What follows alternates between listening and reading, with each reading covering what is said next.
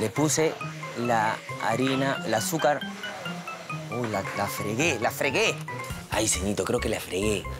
Creo que puse el polvo de hornear antes, según la receta, o me pego a la receta, o... Ariana. ¿Qué? Le puse el polvo de hornear aquí, antes de cernirlo, ¿normal? No, tienes que ser... ya, no digas nada, ya fue. ¿Qué, lo hago de nuevo? ¿Que todo vas a hacer de nuevo? Ay, amigo, no, no sé qué decirte. Iván Iturbe, ¿qué, qué, qué canción de fiesta infantil te gusta? Y vainilla. Canción de fiesta cinco infantil. segundos que estoy en una... En una... No te doy cinco, no te doy cinco segundos. Te doy 50 minutos. 50 minutos, vamos, 50 minutos, vamos. Peláez, tú siempre me distraes, pero cuando vienes también algo aportas. Entonces, para mí es como, a veces quiero que vengas, pero a veces no quiero que vengas. ¿Qué clases de mamá has observado ahí en las fiestas infantiles? Te doy una. La mamá que agarra más juguetes de la piñata que la propia hija. Ay, va, va con la hija, ¿no? Va con la hija. Ya. Como si la hija la jalase, pero cuando caen los juguetes de la piñata, Ok. pa, pa, pa, mete codo a las propias Todo. chibolas. ¿Qué otro tipo de mamás has observado? Este, mamá, mamá. Mamá, mamá. A Sí, ver. si no, no me voy. Si no, no me voy. Claro, este, ya, ¿qué otro tipo de mamás? Las mamás... Una mamá, una mamá que me haga reír. Un No, tipo de mamá. Las mamás que en vez de cuidar al niño está ahí en el bar. ahí. Ah, es que yo he escuchado Claro, esa he claro. escuchado que las mamás, ahora a muchas mamás les encanta ir a fiestas infantiles porque llevan su termito. Claro. Ahí es donde llevan su termito, llevan su termito ahí cubierto y ahí tienen alguna bebida espirituosa. Tú no serás de esas mamás, No, ¿eh? no, no. No serás de esas mamás. No, o sea, sí pongo así su barrita en el cumpleaños de Almudena porque sé que a veces los papás, más que nada, no quieren estar ahí. Claro, claro. Bueno, entonces... O para que se les vaya el rocho a la hora de... Claro, claro, claro. Bueno, entonces, ¿qué tipo de mamá eres tú? Eh, no, yo me considero una mamá que tiene que observar la Almudena. Ella solita cerró el show. Yo tengo que estar ahí Muy atrás. bien, muy bien. Esperando nomás que no, no Tú llegas, al, a tú llegas al cumpleaños y nadie se da cuenta que llegaste. tú, Ay, no, claro, Bueno, no. ¿Cómo es el baño María? Es en una ollita y, en- y hay un bol. Y ahí pones el bitter. En una ollita caliente pones agua a hervir. Acá. ¿En Sí, una ollita, ollita? ajá. Y pones agua a hervir. Y luego en un bol pones el chocolate y se va a derretir. Bueno, vamos bien. O sea, yo cuando en algún momento de mi vida hice mi negocio de chocotejas cuando era pequeñita, se veía algo así cuando ya se estaba disolviendo. Así que yo creo que vamos por buen camino. ¿Cuánto es el polvo de hornear? ¿No sale en la receta? Una cucharadita, creo. Sí, ¿no? Una cucharadita de polvo para hornear, ¿sí sale? Uy, el chocolate. Laca. Cuando tengas lo, ya tengas los pirotines, Ujú. llénalos solamente tres cuartos. Ya. Ya, hasta acá. No los vayas a llenar por completo porque Ok. ellos se, estos se van a inflar. Y tu chantilly todavía, ¿no? No, ahorita voy a... Uy, Creo que le has puesto demasiada agua. debería ¿Tienes sacar tu un guante? Mira, si coges Sí. una cuchara y le das una mezclita, ya va a estar esto de acá. ¿En serio? Sí, rápidamente se va a hacer.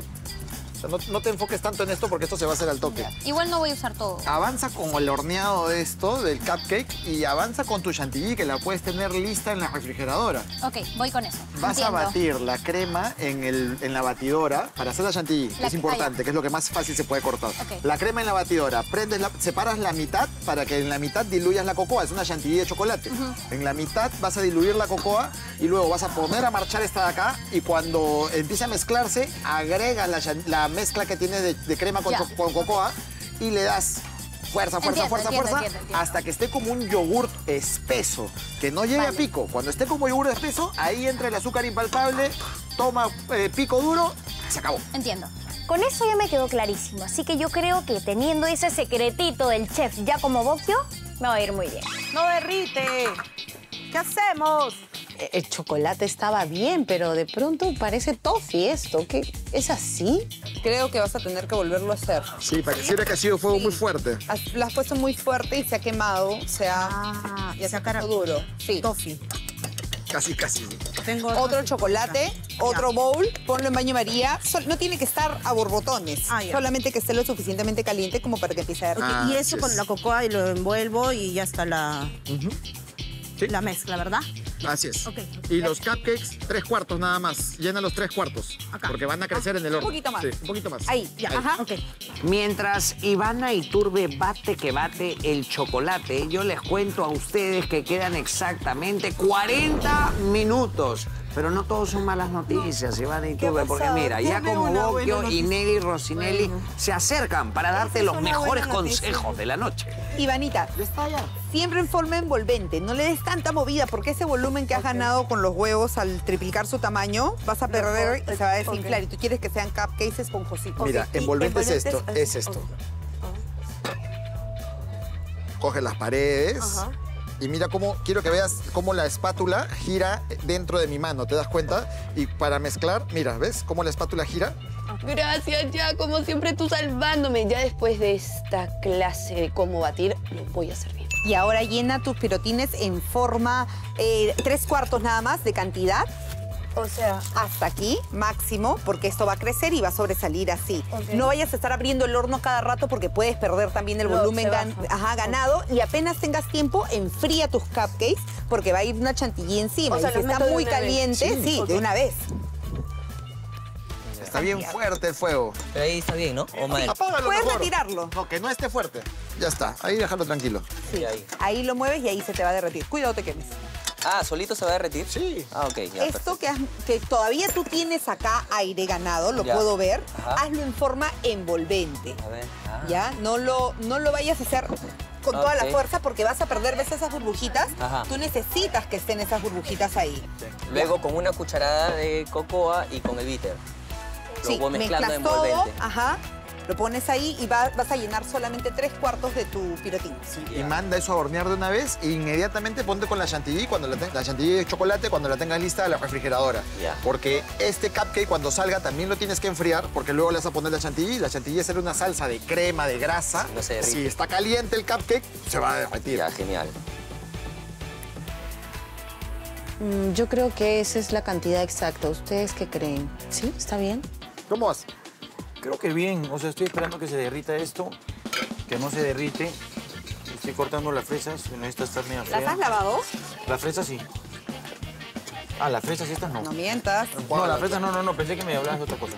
No, ahorita las lavo. Así que esté el peso y las lavo y las cuelo. Mueves, mueves, mueves y se va a derretir. Ya está, yo que tú apagaría el fuego, ¿eh? porque ya, si no, a otros se les está quemando el chocolate. Ya, ahí lo apago y va aquí. Ya, y cuando lo metas acá vas a hacer un trabajo envolvente. En mi idioma, en mi cerebro cuadriculado, es prácticamente lo mismo. Mezclar, envolver. De ahí le echo la cocoa y ahí sigo haciendo ese movimiento que me has Cla- dicho. claro, hasta que Y logre de que se ahí integre lo todo. he hecho acá hasta... Tres Hasta aquí. Tres cuartos. Ah, a tres cuartos para arriba, Sí. no tres cuartos para abajo. O sea, Yaco, igual dale una enjuagadita a esas Sí, fresas, sí. vas a perder un poco de sabor, pero siempre se lavan las fresas eh, antes, Mm. porque no sabes ¿De qué? cómo han ¿De qué crecido. Aunque así si no las lavas y las comes cochinitas, eh, des- eh, cuidas tu, ¿cómo se dice? Desarrollas tu inmunología. Ivana, ¿sabes por qué me han quedado chocolates así? Mira, Espérate cinco segundos que no se el horno abierto tanto tiempo. Mira. Espérame cinco segundos y te mueres. Ya, a ver. Mis chocolates. Se ven. Bueno, el mío, en el mío también se veían un poco. Mira. Métele una. Pero escúchame, envolvente, me dijo, mira. Agarra tu espátula. Mira, ahí está. No hagas, no muevas más, no muevas más, no muevas más. ¿No? No. Se va a bajar. Dice ya como que así, o sea, envolvente. Oye, yo no lo metí en esto. Baño María. En eso tiene que entrar, para eso son los Sí, pirotines. sí, quítalo, ¿no? quítalo, quítalo. Se van a quemar si no. ¿Se queman? Ay, no, no, no. ¿Qué hago? ¿Qué hago? O sea, están en el horno, pero no están en la bandeja esa que tiene como las cositas para los cupcakes. ¿Ustedes qué harían, chefcitos? Mientras Ivana y Turbe se Una pregunta pregunta. qué es lo que está ocurriendo en su ¿Tú qué estación, yo les cuento a todos que quedan exactamente 30 minutos. ¿Tú qué 30 harías? minutos. ¿Por qué? Mira, te explico. ¿Ya has Jaco lo ha metido- ya has en metido esas tus cosas, cupcakes? Sí, pero yo no lo metí con las cosas. ¿Crees que se arruine por siempre? Uy, Porque por algo el pirotín tiene forma... ¿Hace cuánto lo has metido? Ahorita. Y si la sacas... ¿Qué me recomiendas? Uy, no sé, no sé, no sé, Ivana. No sé. Esta decisión no es la decisión que yo puedo tomar. Igual creo que puedes hacerlo con eso, no lo sé. Yo siempre te hago caso. Pero ¿sabes qué siento? Que si no los meto en esta cosa se va a desparramar. Así que ya sabes qué, lo voy a poner, vamos. Lo voy a poner. Queridos jurados, Ivana está con una incertidumbre importante y es que ella no utilizó el molde que se le ha dado, el molde metálico, sino que ha metido los pirotines directamente al horno. ¿Cuál sería la solución? ¿Está bien? ¿Pueden quedar igualmente No, no bien? van a quedar igual de ninguna manera. Yo que ella abriría el horno y metería, arreglaría eso inmediatamente, sinceramente. ¿Cómo es Si arreglar es que no ha pasado mucho tiempo. Quítalo, quítalo, quítalo. Porque si no van a crecer, se van a abrir, ¿no? O se va a ir de costado, de, de acuerdo a cómo infla el, ca- el cupcake, se va, se va a Puede quedar totalmente plano como una galleta. Está solucionando ya. Sí. Oye, ¿cómo te ha quedado, tío? A ver. Así, pero ¿sabes qué? Con un poquito igualito, con, como con grumos. ¿Y eso es normal? No sé. Mariana, sí, a ver ya. A ver, ahora, ahora quiero que aconsejes, pe. ¿Quieres probar? No, Prueba. ¿Así, quiere, ¿Qué así tiene que quedar? No, más oscuro. A ver cómo sabe. ¿Puedo probar? Claro. Pero sigue sabiendo harina. Mira, prueba. Sigue sabiendo harina. ¿Y a qué tendría que saber?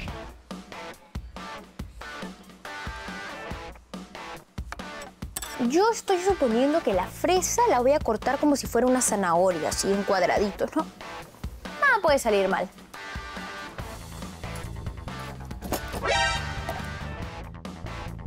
Este, me corté, me corté. No, nada, es con el rallador. Vamos a cortar las fresas bien bonito, pero bien, bien chiquitito para la mermelada, para que se haga riquísima.